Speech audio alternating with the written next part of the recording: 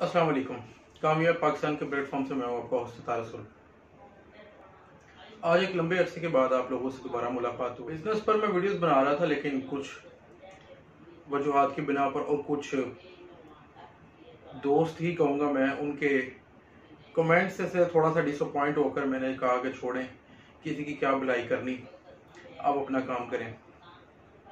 तो काम करते करते ना हम लोग काम कर रहे थे सी एन सी मशीन्स के प्रोजेक्ट्स को जो मशीन्स है वो बना रहे थे।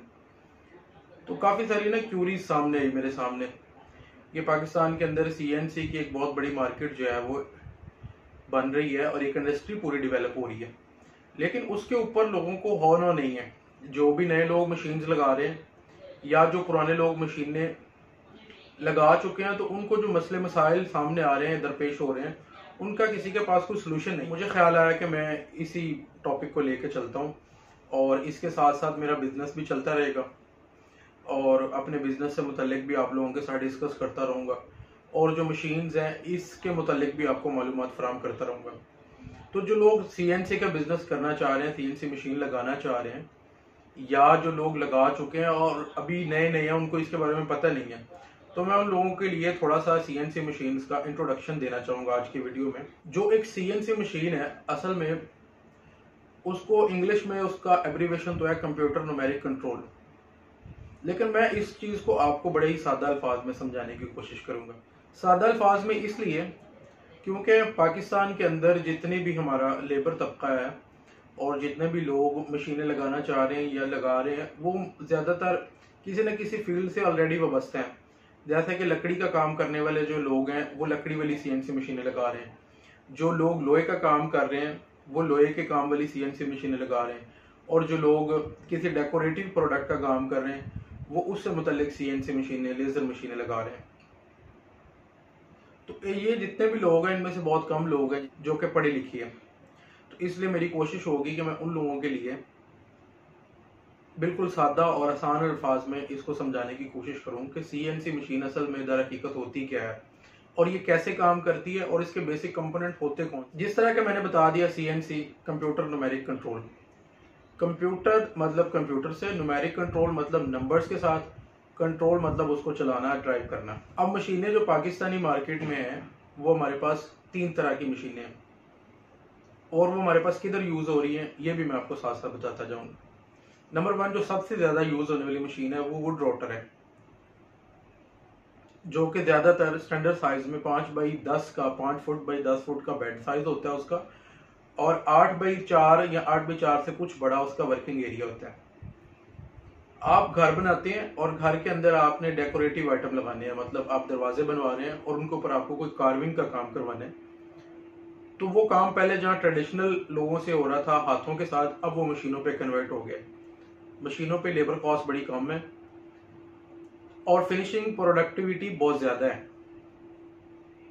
इसी तरह अगर आप दरवाज़ों में बाहर कोई माशाल्लाह लिखवाते हैं, कोई जाली लगवाते हैं, कोई डेकोरेटिव आइटम कोई सीलिंग में लगवाते हैं, किसी एम डी एफ़ मटीरियल के ऊपर प्लास्टिक मटीरियल के ऊपर तो आप सी एन सी पर जाते हैं। इसी तरह अगर आप लोहे का गेट लगाते हैं अपने घर के बाहर और उसके ऊपर कोई जाली की या बेहतरीन कटिंग करवा के लगवाना चाह रहे हैं तो वो आप सीएनसी से खुद करवाते हैं या आपका जो लोहे वाला वेल्डर होगा, वो सीएनसी से आपको बनवा कर देगा। इसी तरह अगर आप कोई वॉल आर्ट लगाते हैं कैलीग्राफी इस्लामिक ऑनलाइन आजकल बहुत ज़्यादा सेल हो रही है लेकर, अपने कमरे में या किसी जगह लगाते हैं तो वो भी आपको कहीं ना कहीं से किसी ना किसी सीएनसी से लेजर कटिंग होगी, आप तक पहुँची होगी। तो सीएनसी नंबर्स पे काम करती है, मिसाल के तौर पे, ये एक बेड है, जिस तरह की आपको स्क्रीन पर नज़र आ रहा होगा। इसका एक पॉइंट है, जिसको हम होम पोजीशन कहते हैं, आमतौर पर नॉर्मली जहाँ से मशीन शुरू होती है। इसको और आसान करता हूँ मैं कि आप गाड़ी चलाते हैं और आप गाड़ी को सीधा चलाते हैं। फिर आप उसको दाएँ मोड़ते हैं और फिर बाएँ मोड़ते हैं। तो इसी तरह मशीन में भी है कि मशीन को अगर आप सीधा चलाते हैं एक सीधी डायरेक्शन में, अपने से ऑपोजिट डायरेक्शन में तो वो वाई एक्सिस होता है मशीन का। और अगर उसको आप दाएँ तरफ़ अपनी चलाते हैं और बाएँ तरफ़ चलाते हैं तो ये आपका एक्स एक्सिस होता है दाएँ बाएँ। अब वाई अगर सीधा जा रहे हैं आप, चलते हुए जा रहे हैं, कदम लेते हुए जा रहे हैं तो ये वाई पॉजिटिव होगा। और अगर आप पीछे की तरफ़ वापस आ रहे हैं तो ये वाई नेगेटिव होता है। इसी तरह से अगर आप दाएँ मुड़ते हैं तो ये एक्स पॉजिटिव होता है। और अगर आप बाएँ तरफ़ जा रहे हैं तो ये एक्स माइनस होता है। मिसाल के तौर पे, हम मशीन को कहते हैं कि आप इस सर्टेन पॉइंट से 24 इंच राइट साइड पे जाएँ तो हम क्या लिखेंगे? X 24 पॉजिटिव इसलिए नहीं लिखेंगे क्योंकि किसी भी नंबर के साथ पॉजिटिव अंडरस्टूड होता है कि वो पॉजिटिव होगा। अगर वो नेगेटिव, पॉजिटिव मल्टीप्लिकेशन या डिवीज़न में होगा तो उसके साथ साइन लगाए मशीन 24 इंचेस राइट साइड पे मूव हो जाएगी। अब हम उसे कहते हैं जी, आप जो है ना, सीधा आगे 60 इंच चली जाए तो हम लिखेंगे वाई 60 तो मशीन सीधा जो है वो 60 इंच मूव हो जाएगी। अब जिस तरह गाड़ी की मिसाल मैंने आप लोगों को दी, कि गाड़ी है, उसको हम सीधा चलाते हैं और राइट दाएँ बाएँ मोड़ते हैं। इसी तरह से गाड़ी को चलने के लिए भी काफ़ी सारी चीज़ों की ज़रूरत होती है। मतलब उसके अंदर हमें इंजन की ज़रूरत है गेयर्स की ज़रूरत है टायर्स की ज़रूरत है ड्राइवर की ज़रूरत है। और इन सब के साथ हमें कम्युनिकेशन की ज़रूरत है। मतलब कम्युनिकेशन कहते कि जैसे हम सामने देख रहे हैं तो वो भी एक कम्युनिकेशन का ज़रिया है। हम तक इंफॉर्मेशन आ रही है कि सामने कोई चीज़ तो नहीं है, या हमने दाएँ मुड़ना है, या बाएँ मुड़ना है। मशीन का जो सिस्टम है, वो तीन हिस्सों में बेसिकली डिवाइड होता है। नंबर वन फ्रेम जो मशीन का फ्रेम होता है, जिस तरह गाड़ी की पूरी बॉडी होती है। नंबर टू जो होता है, उसका मोटर्स एंड ट्रांसमिशन और नंबर थ्री जो होता है, वो होता है उसका कंट्रोलिंग जिस तरह गाड़ी की एक बॉडी होती है, इसी तरह मशीन का बिग फ्रेम होता है, जिसके ऊपर सारी की सारी ये चीज़ें मशीन की मोटरें गेयर उसके, उसका ट्रांसमिशन उसके कंट्रोलर उसकी वायरिंग ये सब का सब उसके ऊपर अटैच होता है। मोटर्स का काम होता है उन सारी की सारी चीज़ों को ड्राइव करना। अब गाड़ी में इंजन एक होता है, लेकिन मशीन के अंदर मोटरें चार, पाँच छः मुख्तलिफ़ मशीनों के हिसाब से मुख्तलिफ़ होती हैं। लेकिन नॉर्मली जिन मशीनों को मैं डिस्कस करने जा रहा हूँ आप लोगों से, उनके अंदर चार या तीन मोटरें होती हैं। अब मोटरें लग गई लेकिन उनको चलाना कैसे है तो उनको चलाने के लिए हमारे पास जो ट्रांसमिशन सिस्टम होता है जो गेयर सिस्टम होता है वो इसमें रैक एंड पिनियन या बॉल स्क्रू यूज़ होते हैं जिस तरह के ये आपको तस्वीर में नज़र आ रहे हैं। अब आगे कि ये सारा सिस्टम इसको मूव करने के लिए गेयर तो हो गए। ये मूव कैसे करेगी? तो मूव करने के लिए हमारे पास जो स्लाइड्स लग, चीज़ लगती है उनको हम कहते हैं लीनियर स्लाइड्स इस तरह गाड़ी के टायर होते हैं लीनियर स्लाइड्स का भी सेम रोल होता है। ये ट्रैक बना होता है पूरा, बड़ा स्मूथ होता है और बड़ा फाइन होता है।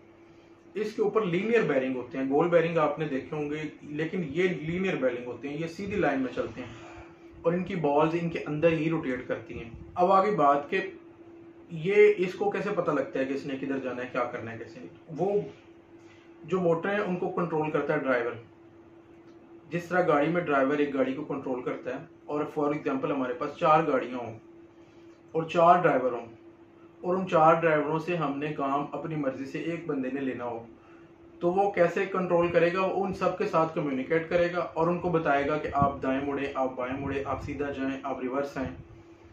तो इसी तरह से ये चार जो हमारी मोटर होती हैं, ये तीन मोटर होती हैं, इनके साथ जो ड्राइवर्स हमारे लगते हैं, उन ड्राइवर्स के साथ फिर एक मेन कंट्रोलर लगता है।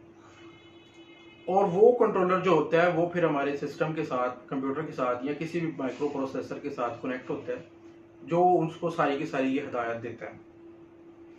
अब ये हदायत बनती कहाँ से हैं? ये हदायत बनाने के लिए हमें एक सिस्टम लेना पड़ता है, जिसके अंदर हम अपना पूरा डिज़ाइन जो है वो, उसको ड्रॉ करते हैं। ड्रॉ करने के बाद उसका एक कोड बनाते हैं जी कोड जिसको कहा जाता है।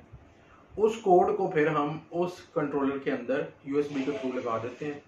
और वो फिर उन चीज़ों को आगे ड्राइवर्स तक पहुंचाता है और ड्राइवर्स फिर मोटर्स तक और फिर सारा ये काम शुरू हो जाता है। अब ये तो होगी सीएनसी की बेसिक लेकिन वो मटेरियल कैसे कटता है? जो उसके ऊपर लगाते हैं, हम लकड़ी लगाते हैं एमडीएफ लगाते लगाते हैं, कोई प्लास्टिक शीट लगाते हैं लुको बॉन्ड लगाते हैं, या कोई लोहे की शीट है, या किसी और तरह का कोई मटेरियल है। तो उसको काटने के लिए भी हमारे पास डिफरेंट टाइप्स के टूल्स होते हैं। जो इसके ऊपर लगते हैं, जो कि कटिंग मैकेनिज्म जिसको कहा जा सकता है। लकड़ी काटने के लिए मोस्टली हम रूटर इस्तेमाल करते हैं, इसीलिए उस मशीन को सीएनसी वुड रोटर कहा जाता है। लोहे को काटने के लिए हम मोस्टली प्लाज्मा का यूज़ इस्तेमाल करते हैं, इसलिए उस मशीन को सीएनसी प्लाज्मा कहा जाता है। और बरीक या फाइन कटिंग करने के लिए हम लेज़र का इस्तेमाल करते हैं तो इसलिए उस मशीन को सी एन सी लेज़र कहा जाते हैं। अब लेज़र की भी टाइप्स हैं। ये मैं मजीद इंशाल्लाह आपसे नेक्स्ट वीडियो में डिस्कस करूँगा। मैंने बिल्कुल आसान और सादा अल्फाज में आप लोगों को आज ये समझाने की कोशिश की कि सी एन सी जो मशीन है, वो बेसिकली काम कैसे करती है और उसके बेसिक पार्ट्स कौन कौन से होते हैं। इनशाला अगली वीडियो में अब इन पार्ट्स के बारे में डिटेल बाई डिटेल डिस्कस करेंगे। जो लोग वीडियो को पसंद करें, वो चैनल को सब्सक्राइब कर दें और वीडियो को लाइक कर दें। और बेल आइकन को भी प्रेस कर दें ताकि आइंदा आने वाली वीडियोस को नोटिफिकेशन उन लोगों को मिलते रहें।